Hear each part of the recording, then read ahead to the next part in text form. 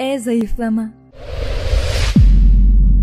Bilindiği gibi 12 tane burcumuz var. Ee, 12 burcun 12'si de e, kendisine ait e, çeşitli özellikler taşıyor.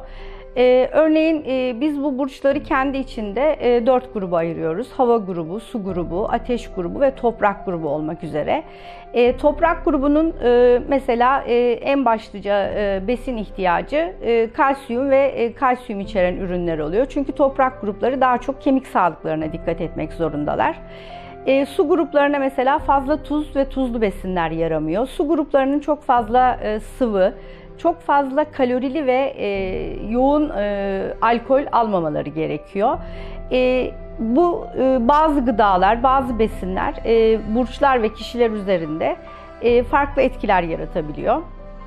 E, Kişinin haritasında eğer alerjisi olduğunu görebiliyorsak ki o kişiye e, ona dokunan tahılları vermiyoruz. Mesela Başak e, Burcu e, insanların bağırsak ve sindirim sistemi çok fazla hassas olduğu için onlara çok fazla şekilde bilmedikleri, tüketmedikleri tahılları önermiyoruz.